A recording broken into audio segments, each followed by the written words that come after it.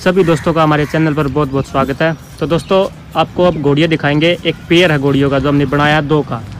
ये Arniya state farm की जो फ़ेमस मेयर है उनके बारे में कुछ जानकारी आपको दिलाएँगे। ठीक है तो चलिए शुरुआत करते हैं। सर नमस्ते। नमस्ते सत श्रीकाल जी। तो सर आपका ये दो घोड़ियों का पेयर है। जी। तो सर इनके बारे में कुछ जानना चाहेंगे। सबसे पहले तो आप इस घोड़ी से स्टार्ट कीजिए। इस घोड़ी की जो जानकारी है वो हमें दीजिए। ये घोड़ी केसर के नाम से घोड़ी बहुत प्रसिद्ध घोड़ी है। जिसने ये पुसाना की ब्रीड है, इसकी माँ पंचकल्याण वो भी जो पथेड़ी की घोड़े की बच्ची थी, वो भी पुसाना की है।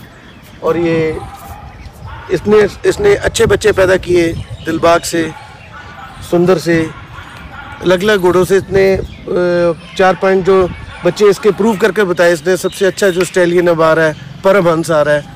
राजस्थान में जो गजुनमना के पास है पुसाना में, वो इसका बेटा है परमहंस। और खुद घोड़ी का इसका बहुत अच्छी टाइप है बहुत अच्छा मनी है। बड़ी जो ब्रीड में हीरे घोड़े की बच्ची है ये खुद। इसका बाप हीरा है इसकी माँ पंचकल्याण जो पथेड़ी वाले घोड़े की है। तो ऐसे ब्रीड में लाइन वाइज में बहुत अच्छी प्रोडक्शन करने वाली घोड़ी जो ये केसर नाम से प्रसिद्ध घोड़ी है। तो सर इसकी एज कितनी हो चुकी है? ये अभी नौ दस साल की घोड़ी होगी। इसने चार ठान दे दिए पाँच।